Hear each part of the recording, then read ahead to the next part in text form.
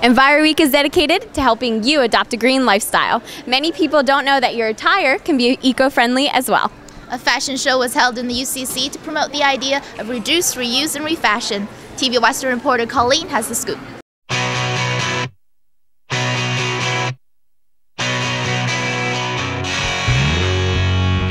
I'm Carly. I'm from the Fashions and Lifestyle Society here at Western. I'm Katie. And we're putting on our eco-friendly wasteful habits, trends go in and out, but I think otherwise, and that's why we're doing this today. So FNLS got together and organized a fashion show that includes all vintage, reused clothes, clothes made out of organic material, and clothes made by local designers and designers in our community. Can you tell me a little bit about what you're doing today?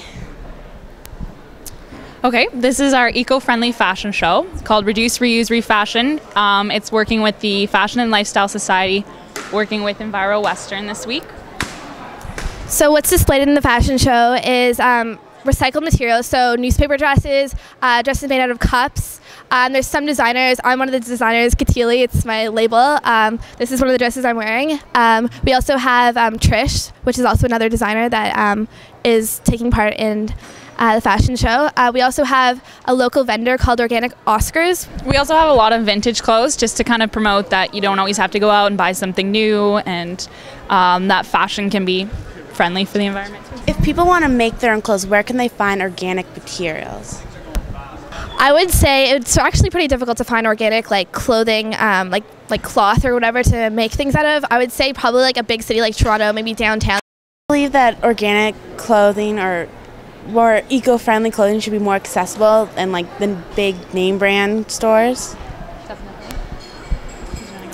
Well, basically, we're like the Fashion and Lifestyle Society, so we know that a lot of our members in particular kind of have that same narrow minded vision of like when you want to go shopping, you have to go to the name brand stores and you have to go to the shopping mall. Whereas we kind of want to showcase that you can make your own clothing, A, and that you can use recycled clothing. For instance, something like the Salvation Army or Value Village has awesome clothes.